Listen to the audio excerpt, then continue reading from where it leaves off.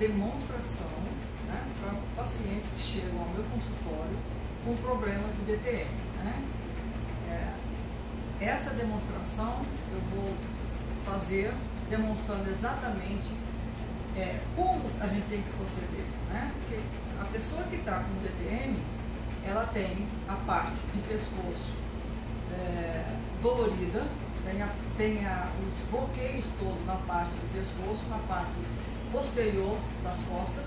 E eu vou começar por essa área. Não adianta você começar a fazer um tratamento né, de articulação temporomandibular na boca, porque não é ali o problema. O problema está atrás.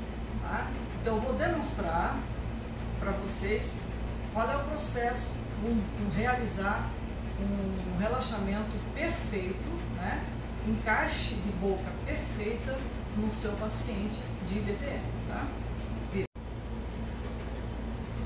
Então o que eu estou fazendo aqui é um, um, uma demonstração, não é um atendimento, tá? só para vocês ficarem sabendo.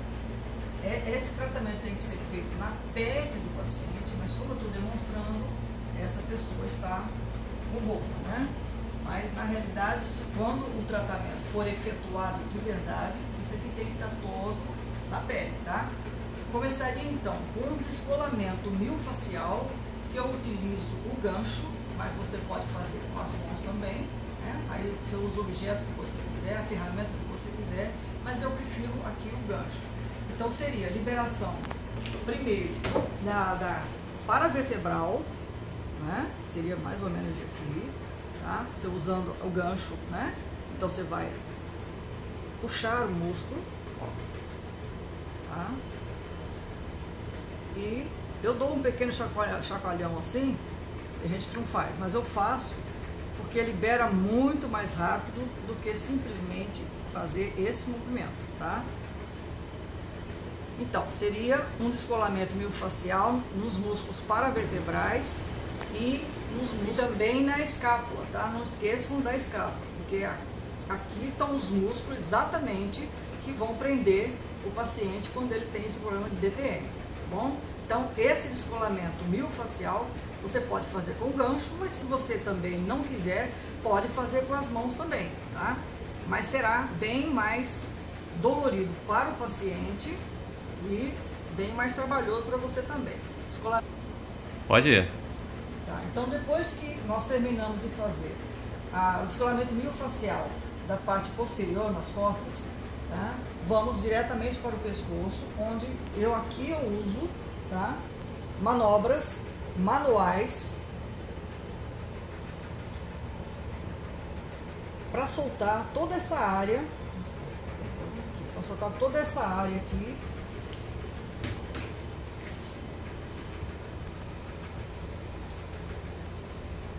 toda essa área. Você pode usar também aqui o gancho, tá?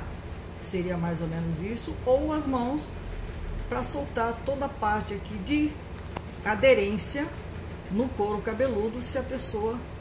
Porque ela vai ter bastante, né? Quem tem DTM, essa área aqui tá bem afetada, tá? Depois de trabalhar toda essa área, né? A pessoa vai virar de decúbito dorsal. Assim. Aí sim, nós começamos. Pouquinho Isso. Isso. Um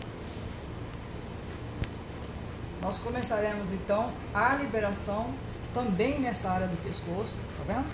Pode ser manual, que é mais ou menos assim, ou também com o gancho, que seria mais ou menos assim, não é isso? Então, após isso, tem que haver com a quiropraxia a gente tem uma manobra bem legal, né? muito eficaz, que você solta o pescoço da pessoa. Solta bem, tá? Corredor está com Solta. Após isso, liberou o pescoço, fiz um lado só, porque ela só tem a contração desse lado, tá? Senão não precisava, senão teria que fazer os dois lados. Aí eu começo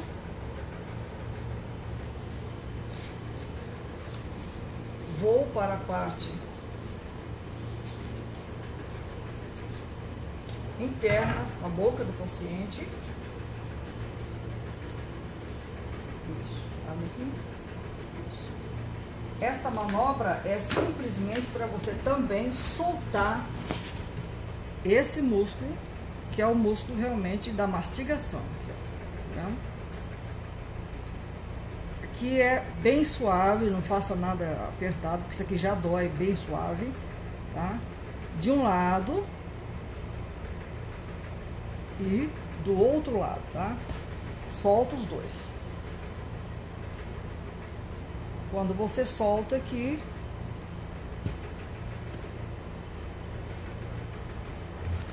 solta aqui, isso.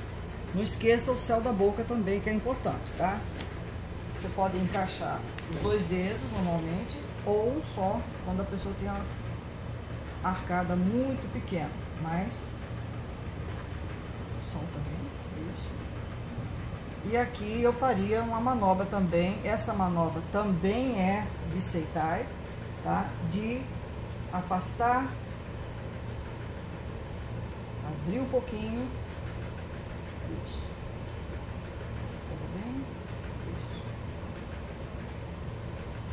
Após isso, eu venho então para a parte exterior, onde você tem que trabalhar toda esta área, tá? Inclusive essa parte de cima da, da testa, tá?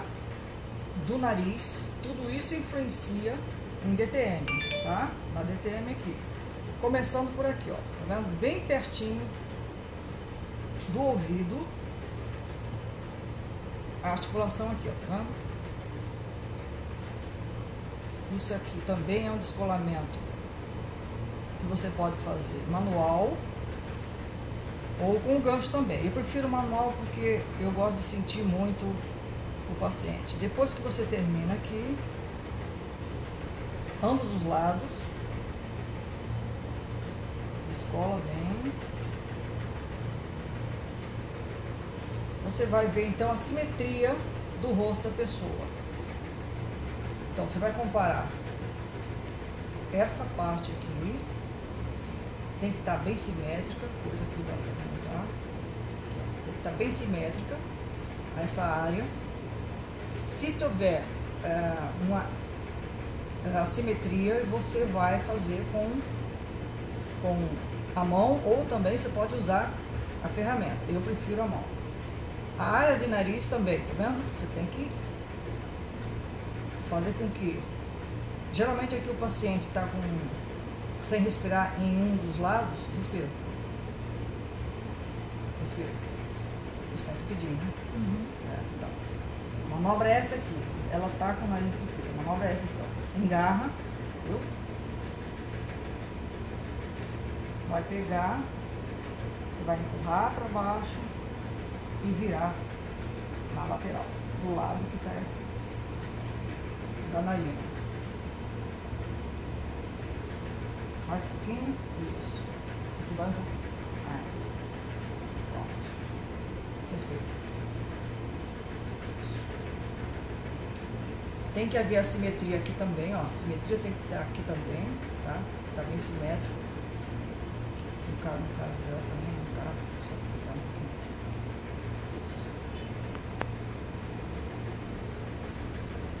Então, pessoal, olha só. É, o que eu estou fazendo aqui é, não é um atendimento, tá?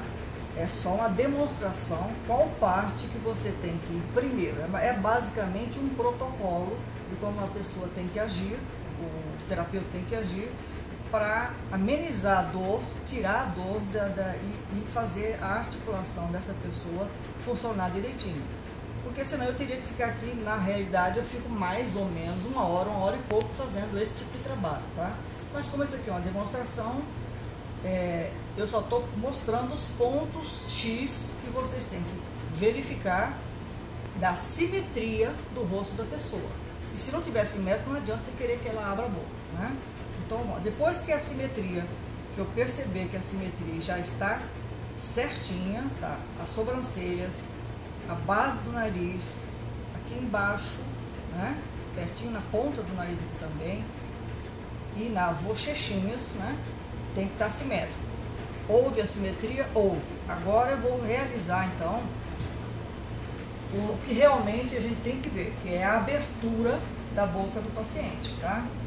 Dois dedos nas têmporas, tá? Bem na articulação têmpano-mandibular, tá? E a pessoa vai abrir a boca. Abre um devagarinho, devagarinho, devagarinho, devagarinho. E mais um pouquinho, volta, volta, volta. Novamente. O que, que você está vendo aqui? Né? A pessoa vai ver, se ela tiver com a a mordida, que a gente chama mordida cruzada, ou seja, a boca entortar para um dos lados, ainda tem que fazer mais trabalho. Se a simetria não ocorrer, né, nesse período que você está fazendo, então temos aqui uma manobra, tá, de Seitai, que é os dois polegares encostados na mandíbula da pessoa, tá? Ela vai ficar e solta um pouquinho a boca. Ela vai ficar com a boca bem é, soltinha, tá? Dois, o polegar na mandíbula e outra aqui embaixo, perto do pescoço, tá? Nessa, nessa manobra você vai fazer isso aqui, ó. Você vai abrir forçosamente a boca do paciente. Claro que isso tudo é devagar, né? Isso. Solta um pouquinho mais. Isso. Ó. Ih, 对。